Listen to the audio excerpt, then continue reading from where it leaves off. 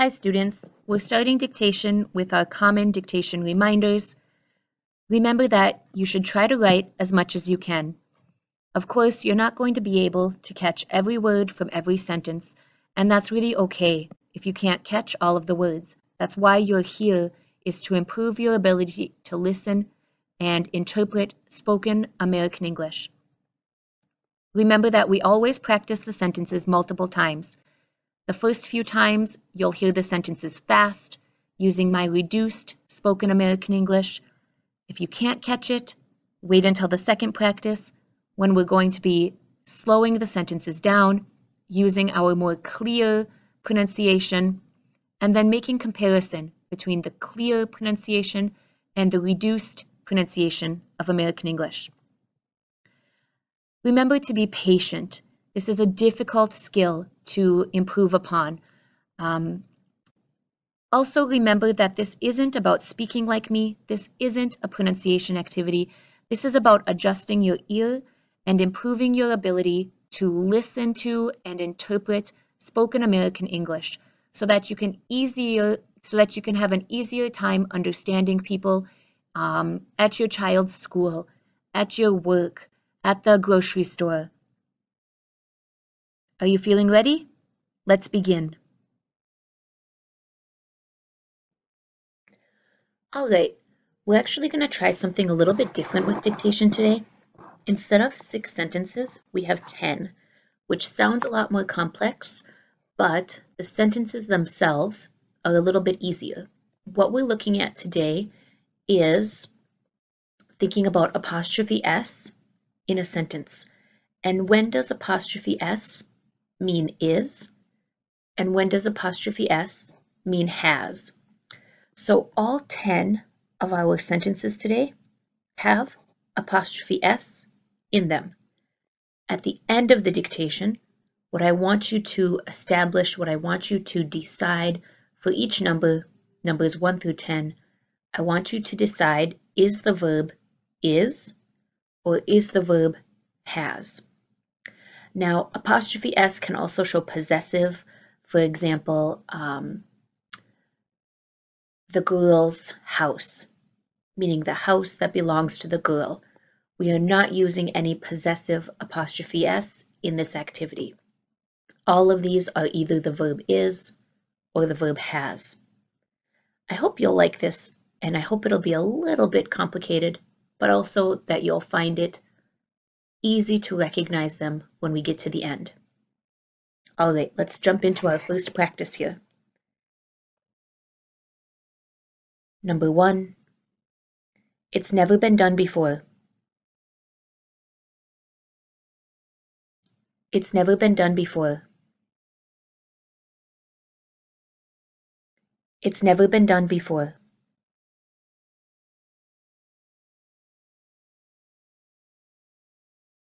Number two, he's in Fargo this month.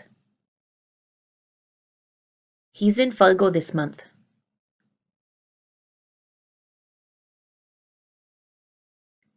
He's in Fargo this month.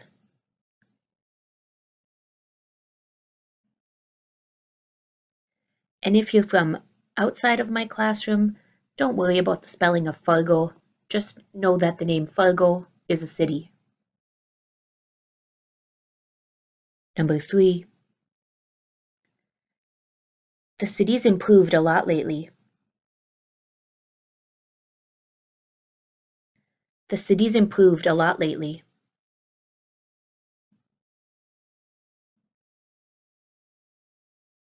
The city's improved a lot lately.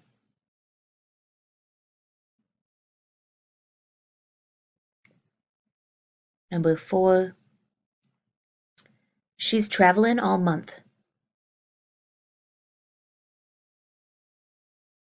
She's traveling all month.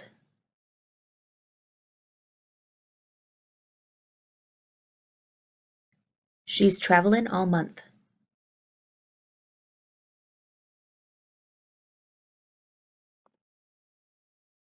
Number five, how's she going to help me?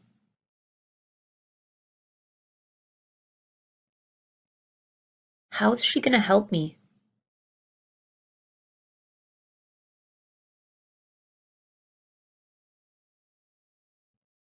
How's she gonna help me?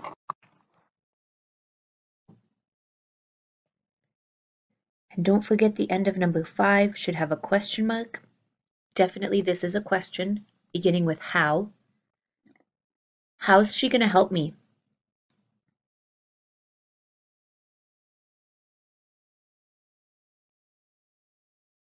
Number six, she's lived in Fargo since 2012. She's lived in Fargo since 2012.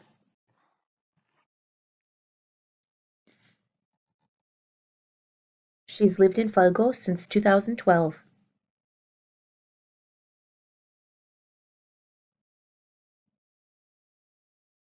Seven. What's he doing this week?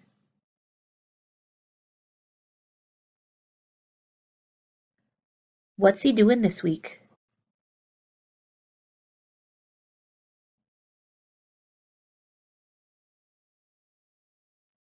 What's he doing this week?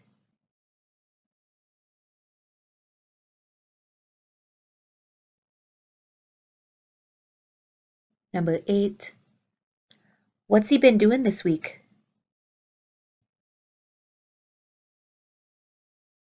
And even though eight sounds similar to seven, the verb is different between seven and eight. Again, number eight. What's he been doing this week?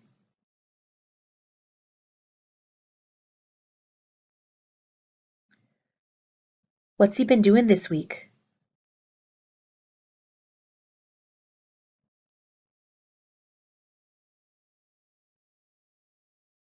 Number nine. How's life been going? How's life been going?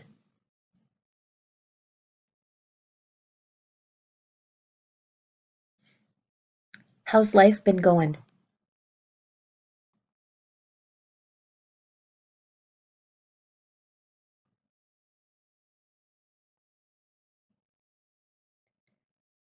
Number 10. My car is broken. My car is broken.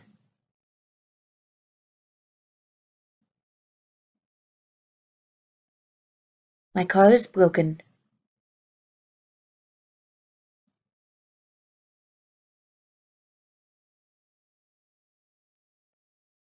All right, look back over your sentences Remember that we're thinking about this apostrophe S. Is the apostrophe S is or is the apostrophe S has? Let's come one more time through the sentences. Number one, it's never been done before. Two, he's in Fargo this month.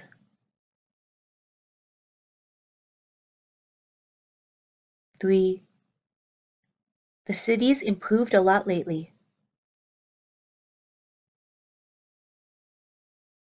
Four, she's traveling all month.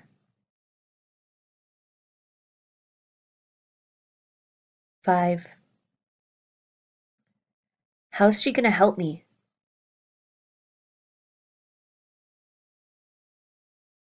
Six, She's lived in Fargo since 2012. Seven. What's he doing this week? Eight.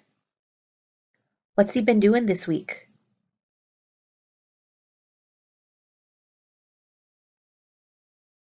Nine.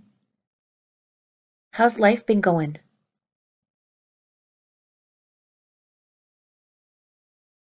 And ten. My car is broken.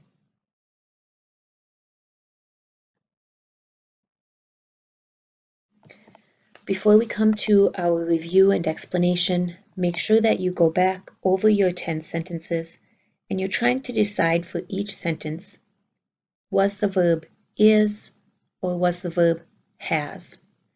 We're not going to do an in-depth um, analysis of the connected words for every single sentence. We're just going to really focus on how do I know that this verb, this apostrophe S, is is, and how do I know that this one is has.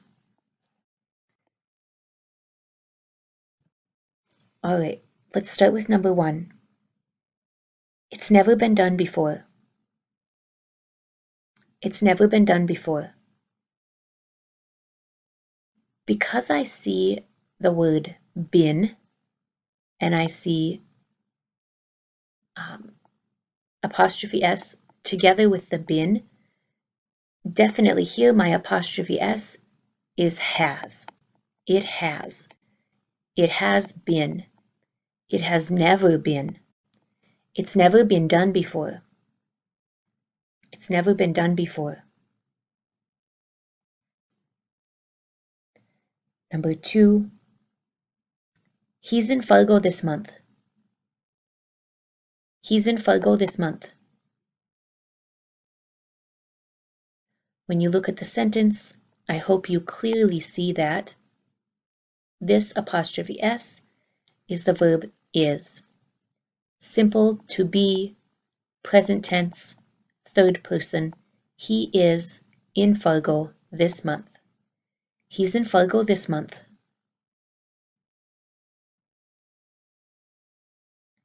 Number three, the city's improved a lot lately. The city's improved a lot lately. Because I see the ed, I see the third verb, the past participle, I know that this apostrophe s must be has. This is my present perfect verb. Um, number one, also present perfect verb. It has been. It has never been. The city has improved. The city's improved a lot lately. Number four, she's traveling all month. She's traveling all month. Because we have the ing, I hope that you can recognize this is my verb of be, she is, traveling with ing, my present continuous, she is traveling. She's traveling all month. Number five is our first question.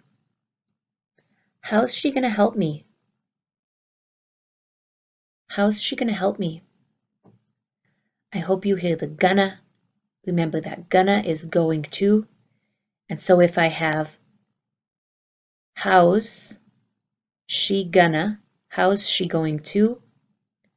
She verb going to has to be is.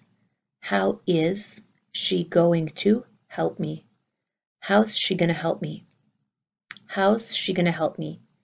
This is a really difficult pronunciation to hear because of how the S connects together.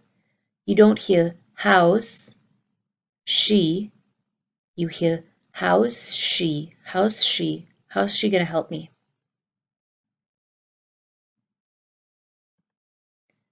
Moving on to number six. She's lived in Fargo since 2012. She's lived in Fargo since 2012. Again, because we see the ed, third verb, present participle, this must be has. She has lived. This is my present perfect verb. She began living in Fargo in 2012, and she's still continuing to live in Fargo. She's lived in Fargo since 2012. Number seven, what's he doing this week? What's he doing this week? Again, we see the ing, apostrophe s, he, hmm, ing, he is. What is he doing? What's he doing? What's he doing this week? And then I wanted to immediately contrast between 7 and 8. Number 8, what's he been doing this week? What's he been doing this week? Again, I hear the doing, but I also have been. This is not my present continuous. This is my present perfect continuous. He has been doing. What's he been doing this week?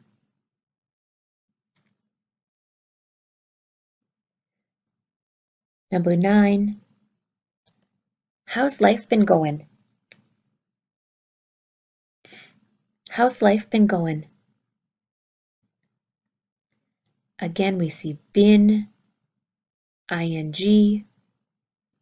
So I know that this apostrophe s must be has. How has life been going? How's life been going?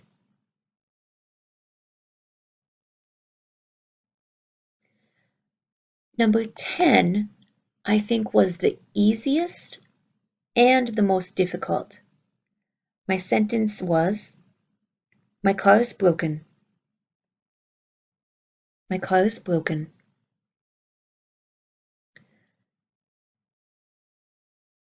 This sentence, the apostrophe S could be is, or it could be has. It would depend on the context around. For example, simple present, my car is, and my third verb here, broken, doing the job of adjective. My car is red. My car is old. Third verb, doing the job of adjective. My car is broken. Present tense, right now. If my apostrophe S is has, my car is broken. This is sometime in the past, but we don't know when. Um, my car is broken a lot. My car has broken a lot these last few years. My car is broken all the time. Mm, all the time, routine, simple present. My car's broken a lot over the last five years. Began in the past, continued, repeated action in the past. My car has broken. Just my sentence, my car is broken. It's not enough to know, is this using is or is this using has? So that brings us to the end of this dictation. Um, let me know in the comments what you thought. Did you like this practice or not? Was it easy for you to distinguish between apostrophe s as is and apostrophe s as has? Also, if you look below where the description is in the video, I'm going to link a PDF that you should be able to click and open on your personal device um, with an additional few sentences where you can read and try to distinguish is this apostrophe s, is, or has. As always, let me know in the comments how did you do. Don't forget to like and subscribe to the channel so that you'll get notifications when new videos are posted. See you later, students.